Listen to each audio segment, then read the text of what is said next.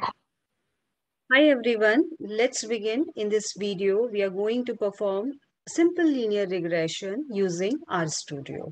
So let me share my screen. And uh, this is the, I had written something here. Uh, one case study I have taken, simple linear regression. First of all, uh, what do you understand by simple linear regression? I had already explained you in my previous video and I definitely am going to share link in this video description box.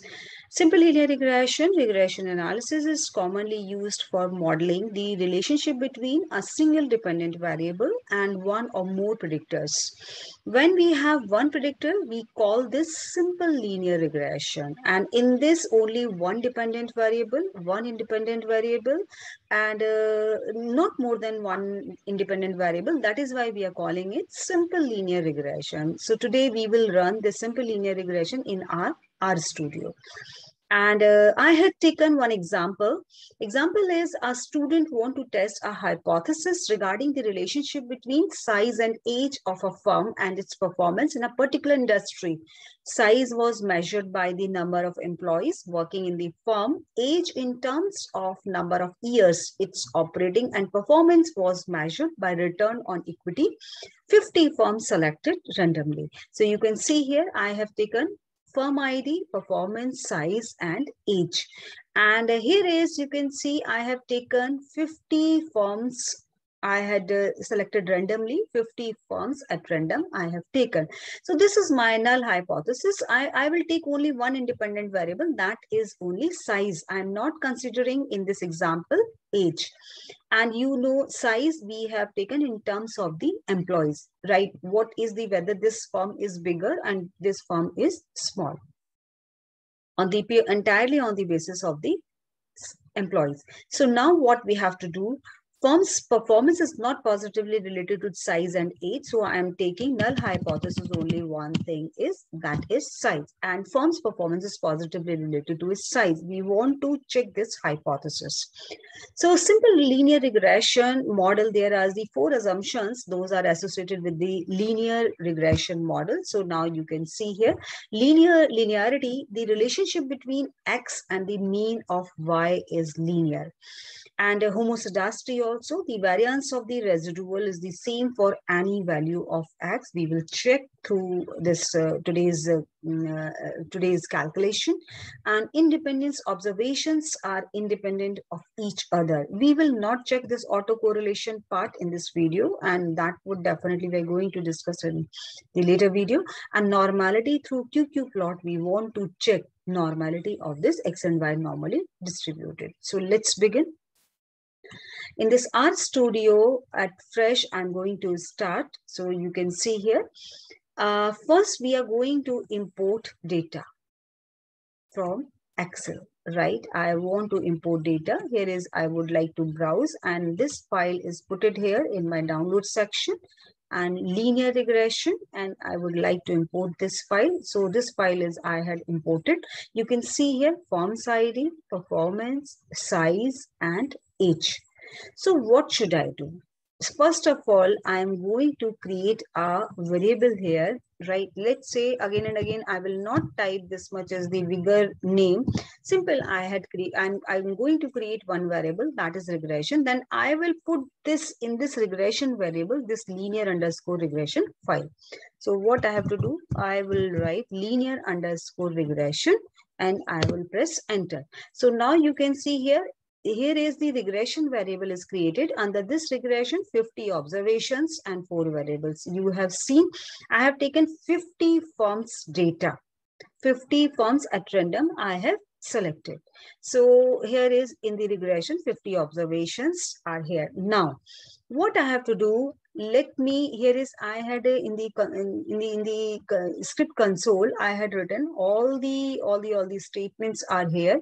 So one by one, we can run also, right? And uh, here is what I have to do.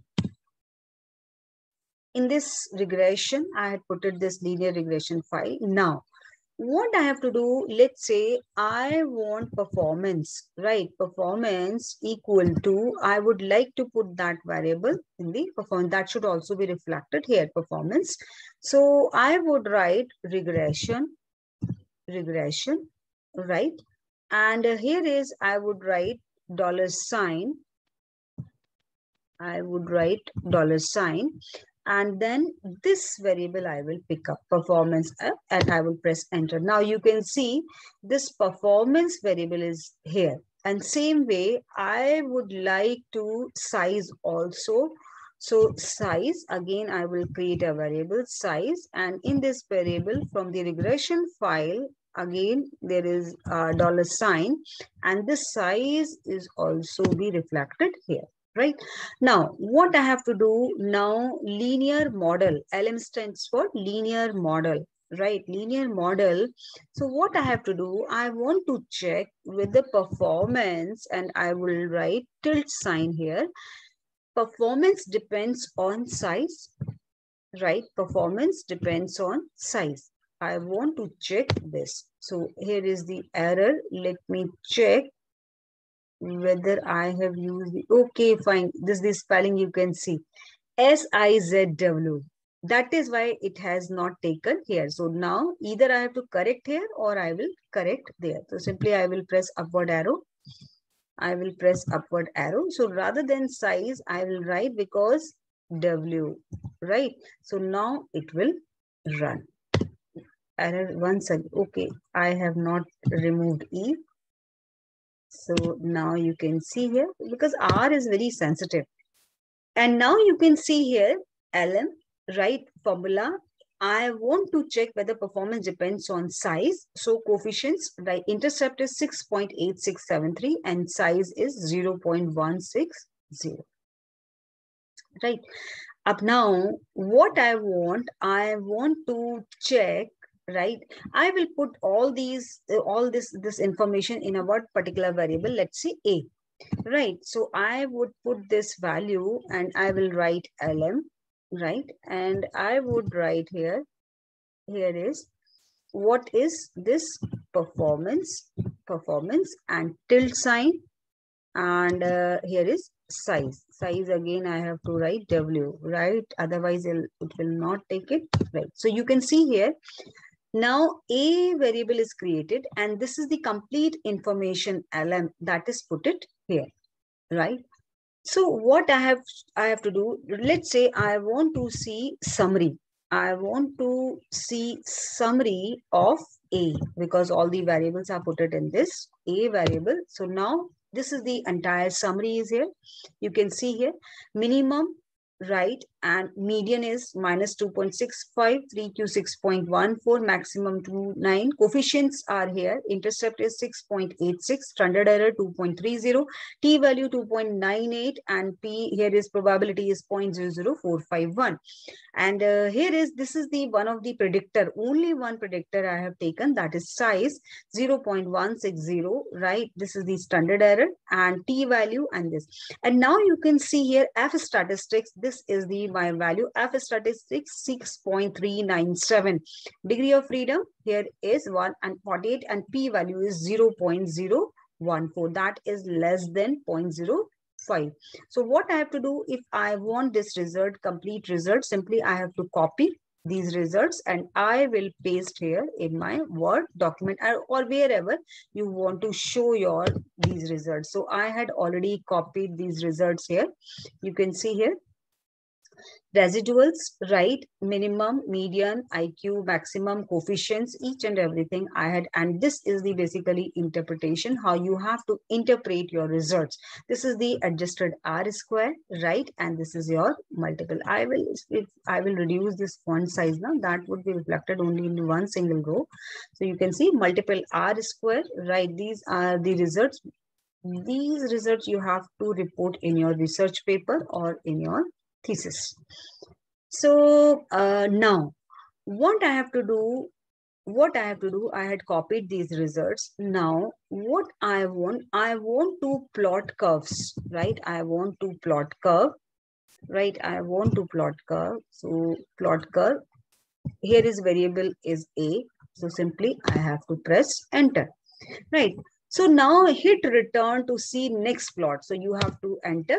So this is my first plot, residual versus fitted, right? Residual versus fitted.